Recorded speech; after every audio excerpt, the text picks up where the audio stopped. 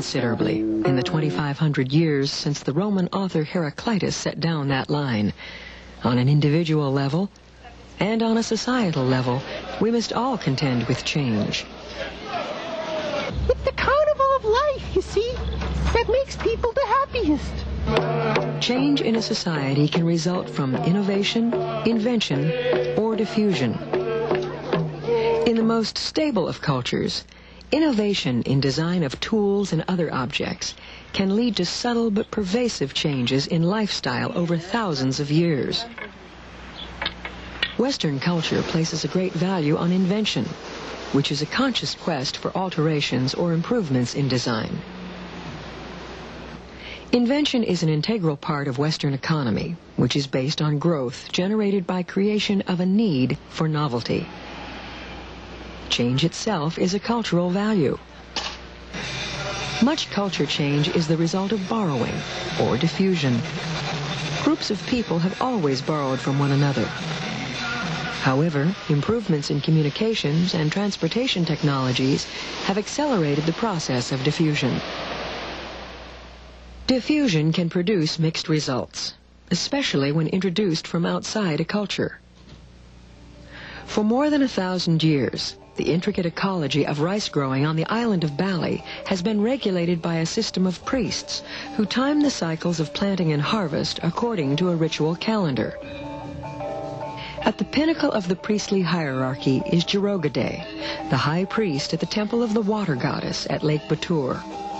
Lake Batur is the source of an elaborate system of springs, lakes, and canals that ultimately channel water into each farmer's fields. This irrigation system, regulated by priests at the temple, has allowed the Balinese to grow several crops of rice each year without pesticides or artificial fertilizer. Several decades ago, international development organizations began intensive efforts to improve Balinese rice yields and increase exports. Techniques developed in research stations across Southeast Asia were introduced in Bali in hopes of increasing the island's productivity even further. Outside developers built new dams, new canals, changed the cropping patterns, brought in new rice varieties, and trained agricultural experts to spread the new techniques. They expected the economy to boom. Unfortunately, Miracle Rice produced miracle pests. Insecticides were brought in to fight invasions of insects and disease, but soil fertility declined. The grand experiment failed, in large part because it had failed to take into account the agricultural expertise encoded in the traditional priestly culture. In the traditional Balinese hierarchy, Wayan Paga is the elected head of 15 irrigation units. He oversees irrigation and cropping decisions for thousands of people. Whenever there is a problem or a dispute, the heads of the irrigation units get together to find a solution, which Wayan Paga must then implement. In making decisions about irrigation and the timing of rice cultivation, Wayan Paga consults both government officials and the priests at the temple of Lake Batur. Each year, the senior priests at the temple consult natural signs to estimate the likely length of the rainy season. Then, representatives of over 200 villages are summoned to the temple for a festival to mark the end of the rainy season. Through festivals, rituals, and distribution of holy water from Lake Batur, the priests set the irrigation clock for the year to come. In this way, rice cultivation is coordinated with seasonal rain cycles. Yet, even though this system has worked effectively for over a thousand years, the Balinese are quick to see the possibilities of a computerized system for regulating the rice cultivation cycle. Anthropologist Steve Lansing demonstrates the computer to Jero Gde, the high priest of the temple. Jero Gde quickly sees that information on cultivation cycles he had stored in his memory can now be stored in the computer. Niki yang yang titian antara artinya malah sudah kita bisa langsung tahu keadaan curah hujan, hasil panen, kan sebenarnya sudah cukup bener. Iya. Ini matakan nah kenang berarti bulan api sana tendados. Nandur kan. Berarti kan tan tanun dengan dia artinya. Oke. However, introduction of computers must accommodate traditional lines of authority. Government officials are quick to claim the new technology for themselves, using it to reinforce the power of the bureaucracy. yang hadir sekarang di sini kan bapak-bapak di sini Nggih. dulu. Nah, mungkin untuk yang lebih tepatnya itu mungkin di bawah pohon sedana agung niki atau kini agung kita hubungan sedana agung kita pilih masjid yang masjid ini sampun munggar niki kan ubur ya manu abe mas. kita kumpul di sana. Ah, iya. ah, itu saya lebih tepat tepat. lebih lebih tepat. Oh iya. Dan ipun kan mesti daya nak kena bulan nabi sebenarnya. Ah. Kan But Jero Gde proves to be as skilled at coping with the complexities of computers and government officials as with mediating the forces of nature. Waktu, Mbak, lain waktu. Oke. In other cases, change introduced from outside does not always take place so gracefully. The effects of colonialism are especially abrupt and disruptive. Colonialism involves the subjugation of one group of people by another.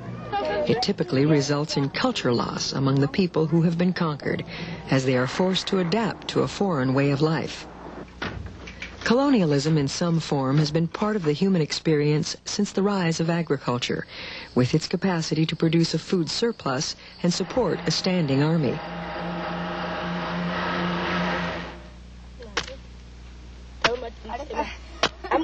In Africa's Kalahari Desert, the Kung Bushmen fight to retain rights to what remains of their traditional land. Several decades ago, the Kung, or Juntwasi, were the last independent foraging group in southern Africa. All other so-called Bushman people had been exterminated or dispossessed. By the middle of the 20th century, their traditional lands had been taken for use by white commercial farmers, mining companies, nature conservation, and game preserves. In 1951, Tsamko was 10 years old. Like all Juntwasi boys, he was learning to be a hunter. He was preparing for a lifestyle that was soon to disappear. In 1970, when Tsamko was just 29, Bushman land was drawn on a map. The border with Botswana was fenced, cutting the people off from 90% of their traditional land and all but one of their permanent water holes. Under the Homelands Policy, the Namibian government gave much of the Juntwasi land to the Herero, another indigenous people. Another large portion of land was proclaimed a game preserve. There was no longer enough land to support hunting.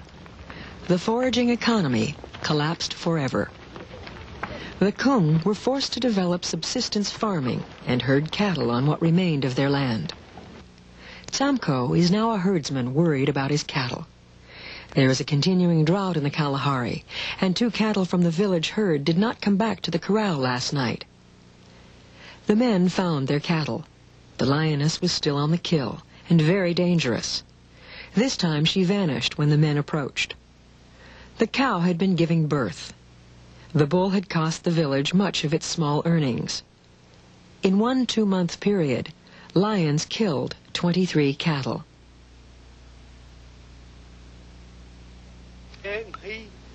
These lions are the dogs of nature conservation. They say lions must live on our land. We're not allowed to hunt them. They don't live on other farmers' land. We say they mustn't live on our land either. Government officials are not sympathetic to the troubles of the struggling Kung farmers. We've got real big problems with lions killing our cattle. Kom hier zo. Weet je dat hier bij Warrenkantoor. Zijn daar eens een lief wat mij... If you have a problem, come to the Nature Conservation Office here. Of wel ik kan zeggen... Tell them that a lion is killing your cattle, and they can go with you. Or they can give you a permit. But it must be done right. Don't just go and shoot. But the Department of Nature Conservation did not help the Juntwasi protect their cattle. Lion attacks increased. In despair, the people began to risk their lives by killing the lions with poison arrows and spears. The government provided water for elephants, but denied it to the people and their cattle. John Marshall, who has spent many years filming the Juntwasi, was on hand when farmers decided to install a water pump. An army officer and a policeman brought an order from the Attorney General in an attempt to prevent installation of the pump. Just a minute. What's the problem? Where's the, the written authority? They asked But me. we don't need a written. that He wants, and people want water. In that case, in that case, we will stop you. We will personally stop you. Uh, Look, this pump is our business. We just asked John to help. Yes, but you understand. You can go on, but the pump will certainly be removed. The Juntwasi kept the pump, but their troubles were not over. Water supplied to elephants by the Department of Nature Conservation attracted more than 600 elephants into their land. The animals destroyed crops and pumps, but the people were not allowed to hunt them. Instead, the Department of Nature Conservation opened the territory to trophy hunting by wealthy Europeans and Americans.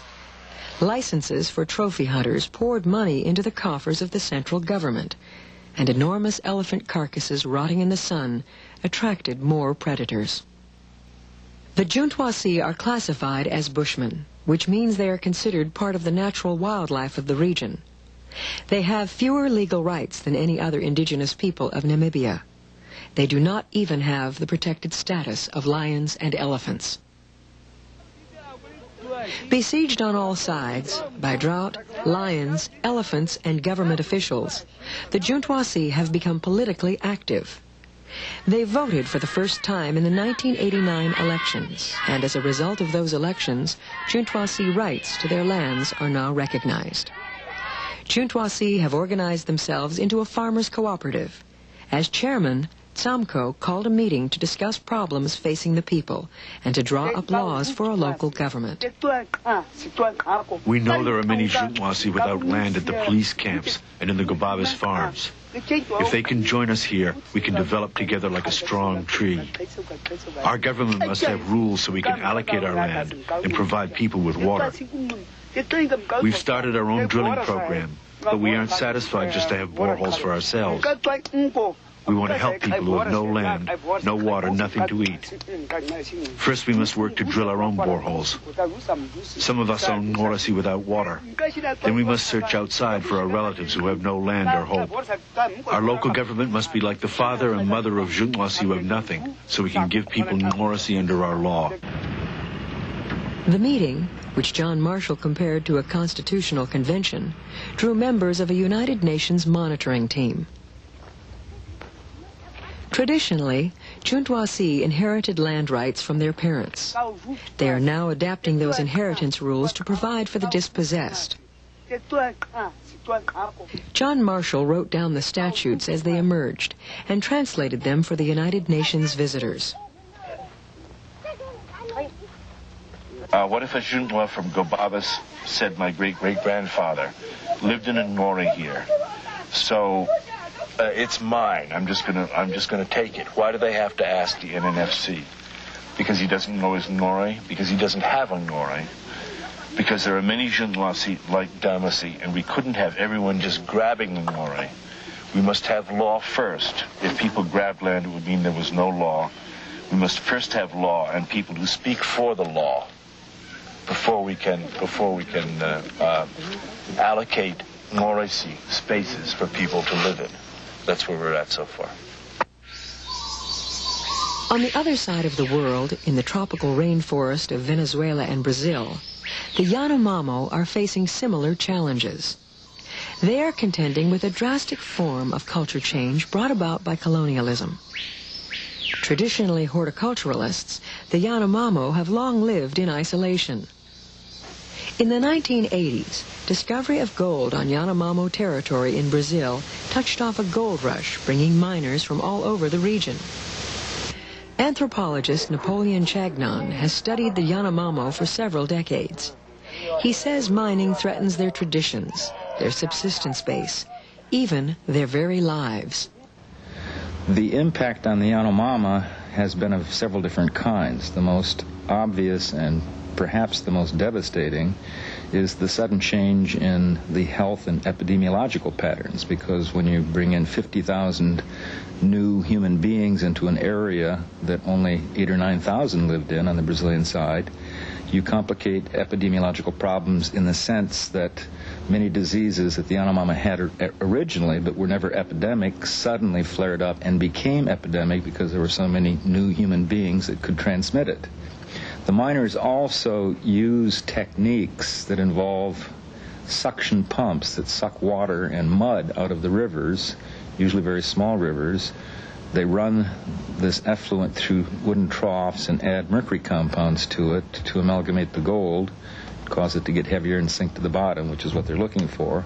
But they just simply let the residue flow back into the rivers. So they're contaminating the rivers with mercury a problem whose dimensions we are still not sure of, but mercury is known to be a very toxic substance for humans and all forms of life.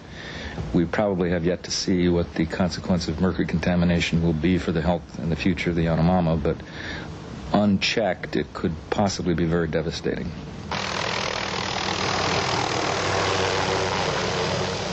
Yanomamo are also becoming dependent on miners for food and other goods. At first, they give away tools, machetes, cooking pots, and begin providing the Yanomama with food, things like rice and sugar. And eventually, particularly the younger men who don't like to make gardens to begin with, become very highly dependent on mining camps that are located near their villages, and so they stop planting. And when the miners stop giving them food and other goodies after enough miners get there and they can resist Yanomama demands, then that puts the Yanomama into a very unfavorable kind of relationship with the miners. They no longer are given the handouts that they originally got when the Yanomama outnumbered the miners, and they have failed to plant their crops, so they become destitute.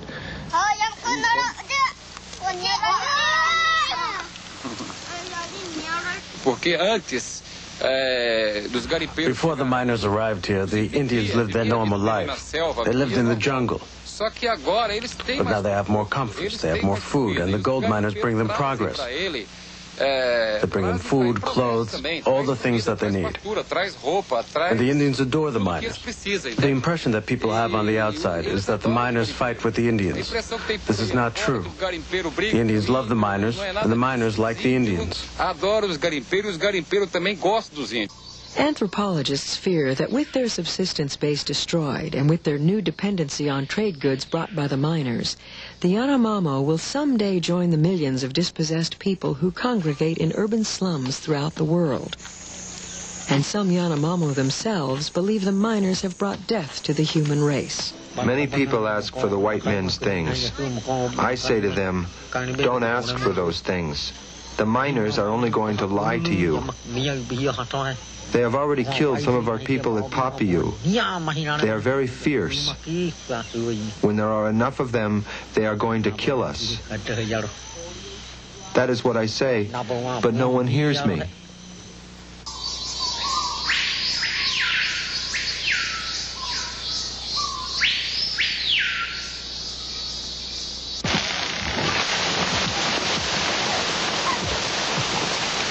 Southern Mexico, Mayan subsistence farmers are contending with more subtle forms of culture change. The Maya practice slash and burn agriculture on small plots of land farmed by extended families.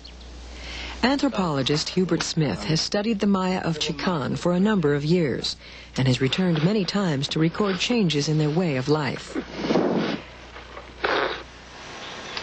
There have been a lot of changes in Chican uh, not the least of them roads. A road system that's vastly improved makes it much easier for people in the village to go out and work in other cities periodically, and they do more and more of them. And it makes it easier for people to come into the village, certainly people who have things to sell. I guess the second biggest change has been electricity. That came in in 1978 just as we were leaving. It's now been here almost two decades, and, and the changes here are vast.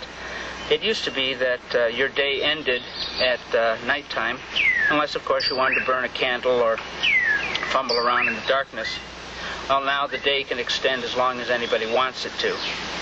And of course, with electricity for the pumps, water now reaches everybody's house.